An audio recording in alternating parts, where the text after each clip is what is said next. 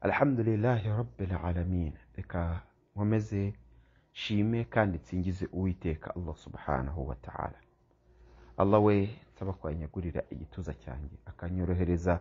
Uyu murimo ngiye gukora akampfundurira ipfundura ifense rwanjye amagambo ngiye kuvuga akabasha gusobanuka. Amahoro imigisha bigwe kandi bisakare ku mwimana muhammad salawatullahi wasalamu alayhi. Bayisilamu avandimwe.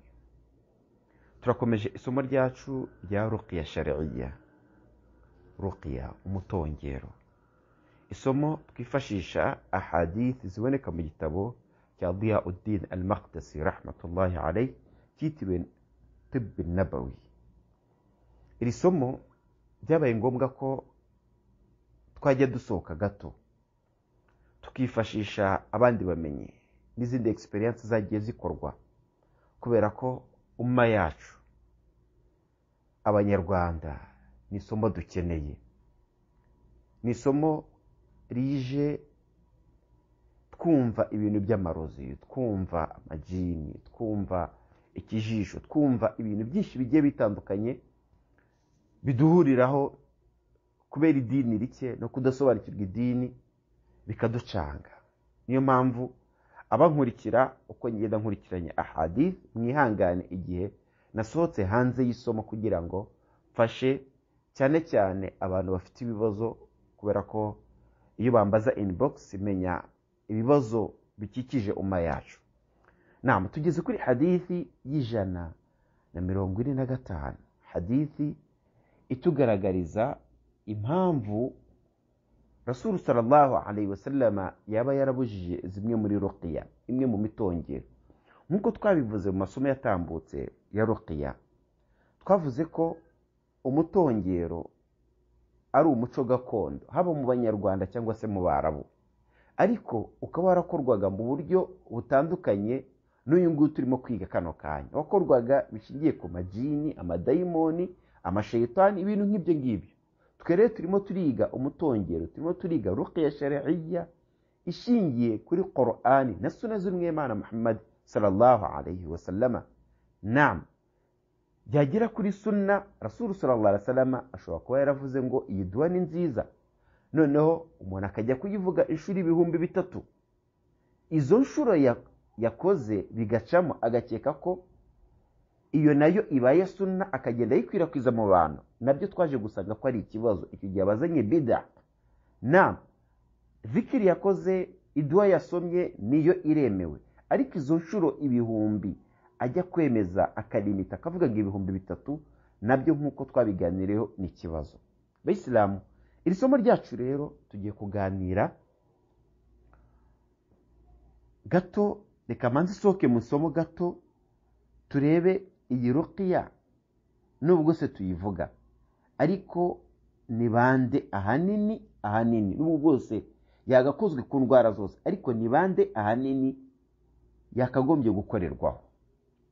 Nama mu bibazo dufite bikunze kutugeraho ni uko hari amarabu nafsiya amarabu nafsiya ngerekereje mu kinyarwanda sinzi uko nabyita yani indwara za roho.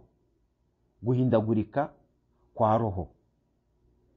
Izo amarabu nafsiya zakunze gukwirakwira mu bantu mpaka zigakenera ruqiya imma ushobora kuzisanga nk'uburozi. Iyi niyo ndwara benshi mu bantu cyane b'abanyarwanda bazi kurusha izindi ndwara. Kugeza ubwo umuntu ashobora no kurwara ikindi kintu. Hari kesi zagiye zitugeraho umuntu akaba yarwara kanseri cyangwa se umuntu akarwara sida bagashinja ko ari uburozi. Abapfumu bakamurya utwe twose kandi mu kuri ibyo yari arwaye n'abaganga bagupima bakakwereka ko ari ikibazo ufite kitari uburozi. Nama si n'uburozi gusa indi ndwara ya kabiri muri amarabu nafsiya hazamo alayin ikijisho ikijisho kibi. Ikijisho kibi masikini nukikureba ni byo yakikurebanye. Icyo kijisho kibi ariko ukikureba ashobora kutamenya ko ari we icyo kibazo cyaturutseho. Ashobora kutamenya ko anakigira. Umuntu kubona umwana wawe yambaye imyenda migufi akavuga ati mbega umwana we. Icyo mbega umwana we umwana agahita arwara agashisha ibintu ku mubiri cyangwa se akikubita hasi cyangwa se akaba yagwa muri koma cyangwa se akaba yaba ikigoryi wowe ugakeka ko ari uburozi. Bajya kumuvura kwa muganga bagasanga nta ndwara afite bapima ibipimo bagasanga nta kibazo.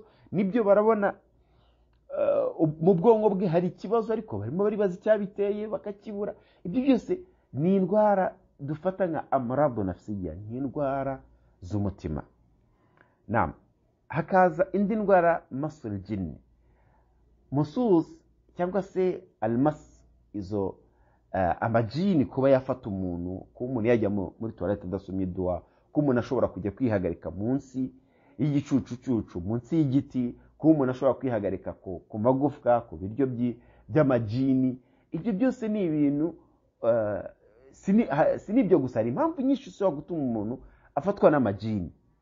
Ntabwo rero buri jini ryose risobanura ko ari umuntu wari guterereje. Bisobanura ko ari uburozi wahawe nabwo.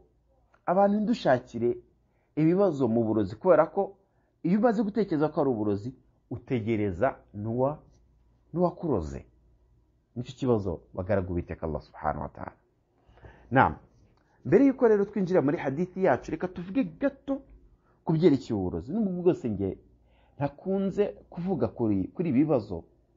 Ubundi nge nakunze kugira prinsipe yitwa ngo niba barandoze baramaze. Nge icyo ndi bukore ngomba kubaho muri sitasiyo muri sitasiyo imana Allah subhanahu wa ta'ala ishaka ko mbamo.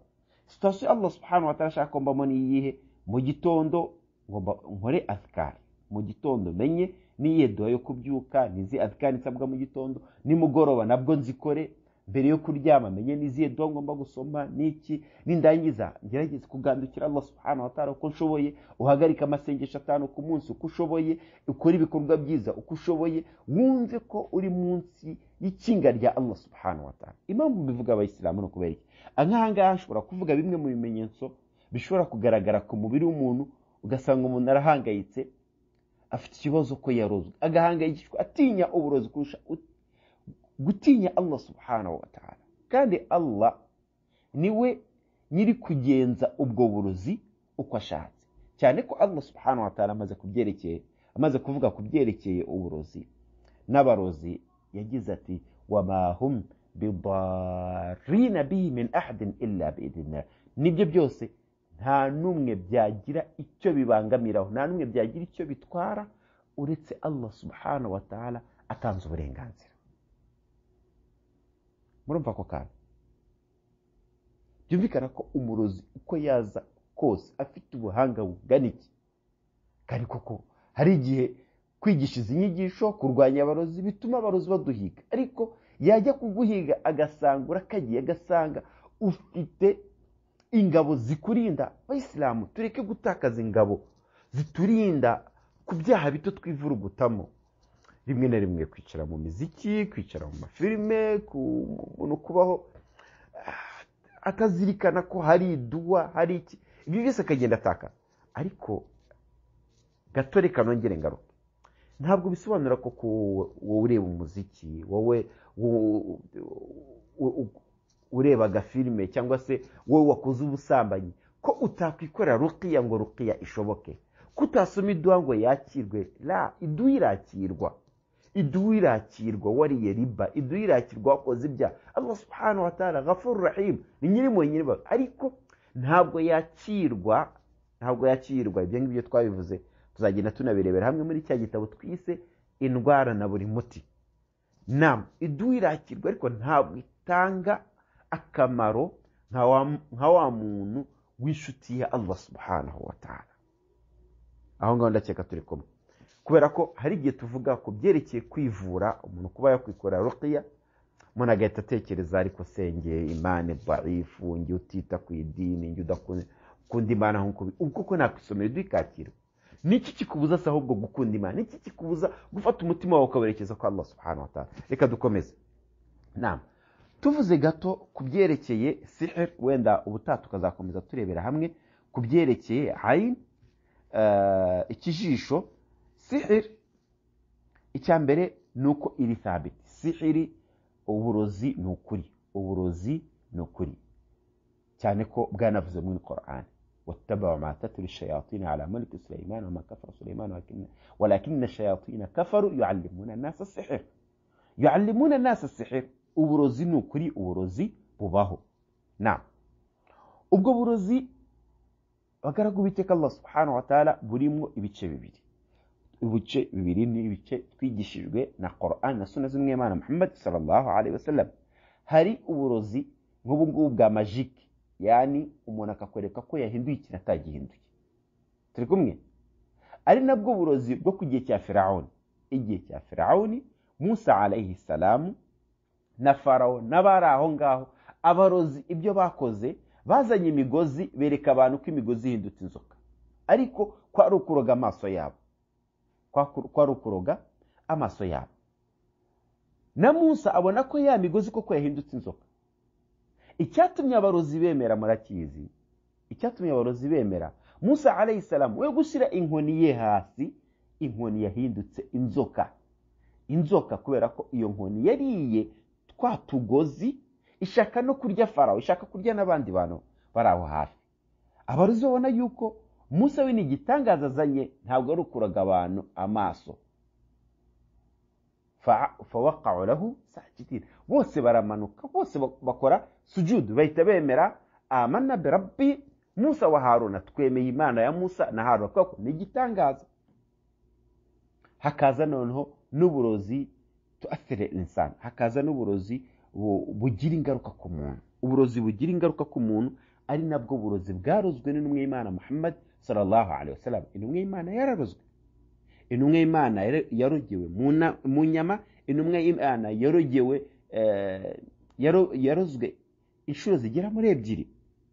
Uburozi niba ari ukuri rero bufite bimwe mu bimenyetso. Twihuse gatoya twihuse gato. N'ubu bwose ibi bimenyetso bayisilamu byakuzira rimwe kabiri gatatu. Ntugahite utekereza ko ari uburozi. Nam ibimenyetso ushobora gusanga ari ibimenyetso by'uburozi ni nk'uko wasanga ari na byo bimenyetso by'ikijisho kibi nk'uko twabivuze cyangwa se bikaba ari n'ibimenyetso bya masumi aljini kuba ari ijini ufite. Kandi nk'uko twabibonye ijini ishobora kugufata ritazanwe n'abarozi. Ibyo ni ibintu bishoboka. Ariko mu bintu bishobora kugufasha kumenya ko ufite izo amarado nafsiya ubwo burwayi. Icya mbere washoboye gusoma suratel bakara niba koko uzi gusoma korani cyangwa se ugasomerwa suratel bakara ukicara mu masaha utananiwe mu masaha ubona ko ari amasaha ndavuga utananiwe kugira ngo utaza kubona bimwe mu bimenyetso nko gusinzira ugakeka ko ni byo kuko ufite ayino cyangwa se ufite uburozi. La wicara mu masaha wumva ko uri areze waruhutse umeze neza noneho ugasoma suratel bakara yose. Cyangwa se ugasomerwa suratel bakara yose. Iyo suratel bakara ntabwo ijya kurangira hataragaragara ibimenyetso. Ima ibitotsi byinshi cyangwa se umunaniro cyangwa se ububabare munuza mu ngingo mu gatuza cyangwa se mo kimwe mu mugongo n'ibindi byose. Kubera iki? Kubera ko suratel bakara irabivubura. Tuzareba igenda turebera hamwe ibyiza by'iyi sura. Hari n'ibindi bimenyetso bigenda bigaragara. Hari indi bimenyetso bigenda bigaragara.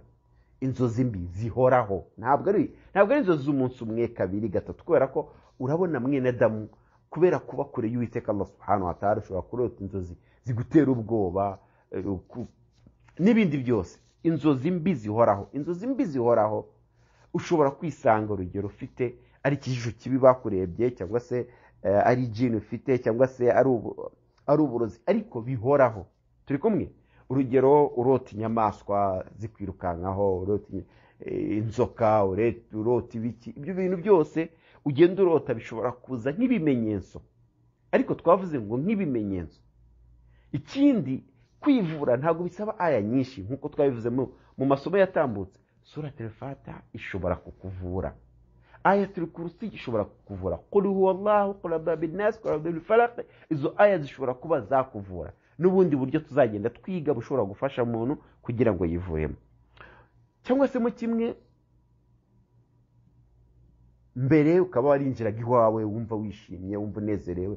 Ariko muri ibi ukaba uko ushatse kwinjira mu rugo wumva uremerewe wumva udashaka akazi ubunebwe wumva udashaka akazi wumva akazi kose ugiyemo ntabwo bigikunda urakora urashaka gukora ukumva nta kuraje ugira.